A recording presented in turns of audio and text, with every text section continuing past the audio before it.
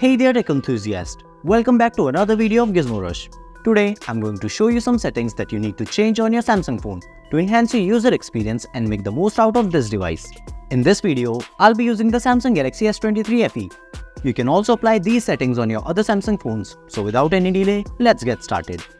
You may have experienced unintentional activation of your phone screen while it's inside your pocket.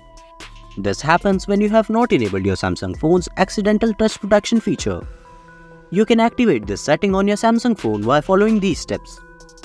Just open the settings and tap on display. Then scroll down and toggle on accidental touch protection feature. And from now on, your phone will not be activated while it's in your pocket or bag. Also, you can optimize the pop-up display while using other apps on your Samsung phone. To enable it, open your phone app, tap on the three dots and select settings. Now scroll down to call display while using apps and select the mini pop-up option. Here you will see a keep calls and pop-up option. Just turn it on and it will not cover your phone's entire screen once you have picked up the call. Moreover, the phone app has a couple of more features that can help you to enhance your calling experience. For instance, you can enable the caller ID option so that your phone can mark spam calls and show you on the phone screen. Also, you can toggle on the Wi-Fi calling to prolong your Samsung phone's battery life. I've made an in-depth video covering the tips and tricks of the Samsung S23 FE. You can watch it by clicking on the I button.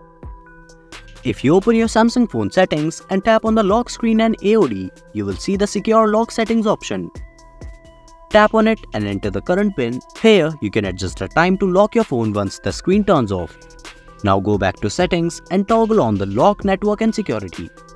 With this, your phone's mobile data and Wi-Fi will not be disabled unless you enter the security pin to unlock your Samsung phone.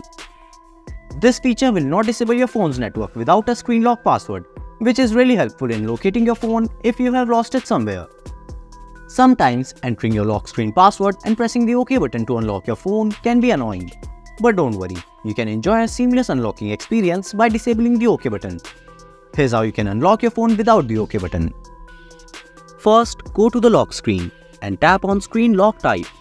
Then enter your lock screen password and choose the pin option. Enter your current pin again, but this time uncheck the confirm pin without tapping OK.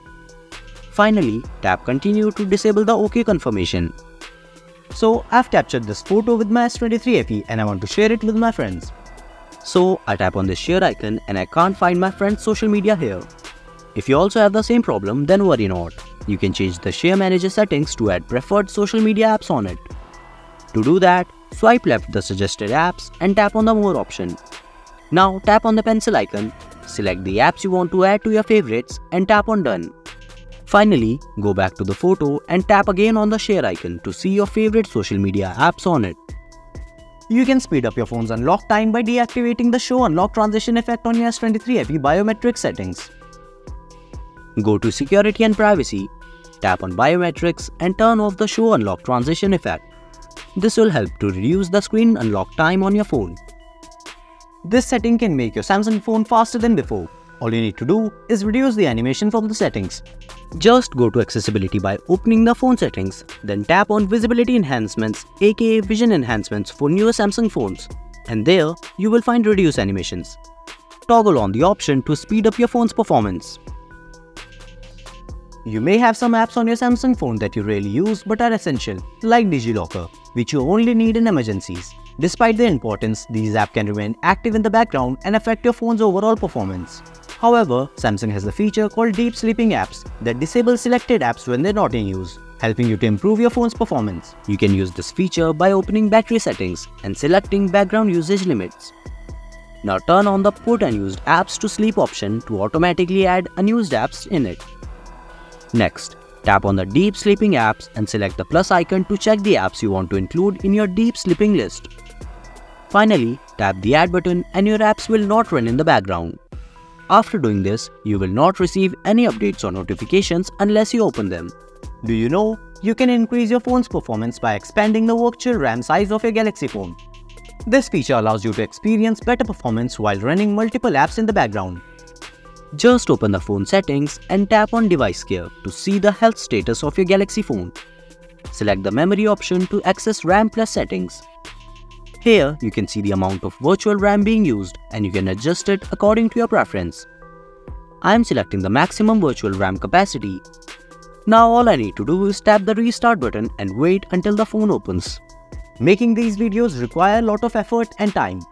If you're finding this content helpful and enjoyable, please show your support by liking the video, subscribing to Gizmo Rush and hitting the notification bell so you always get our video notification first.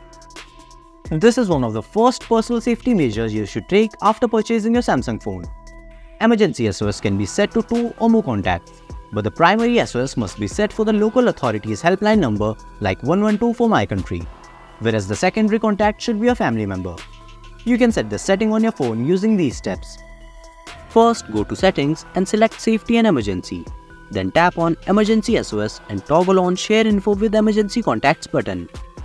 Now, you can activate the SOS on your Samsung phone by quickly pressing the power key button 3 times to send your current location and SOS message to your emergency contacts.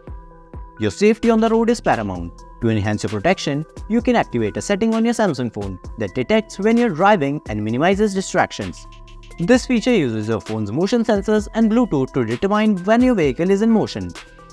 To activate this setting on your phone, simply navigate to the safety and emergency in your phone settings, tap on the silent notification while driving, and toggle the switch to turn it on. Doing so will reduce interruptions and keep your focus on the road. That's it for today's video. We have explored a variety of settings on the Samsung Galaxy S23 FE that can be used on most Samsung phones to enhance your user experience and optimize your device's performance. Whether it's protecting your screen from accidental touches, managing call displays while multitasking, securing your network settings, or ensuring your safety on the road. These tweaks can make a significant difference. Don't forget to share your thoughts and let me know which setting you found most useful. If you enjoyed this video, please give it a thumbs up, subscribe to Gizmo Rush, and watch these videos to enhance your experience on a Samsung phone. Stay tuned for more tech videos.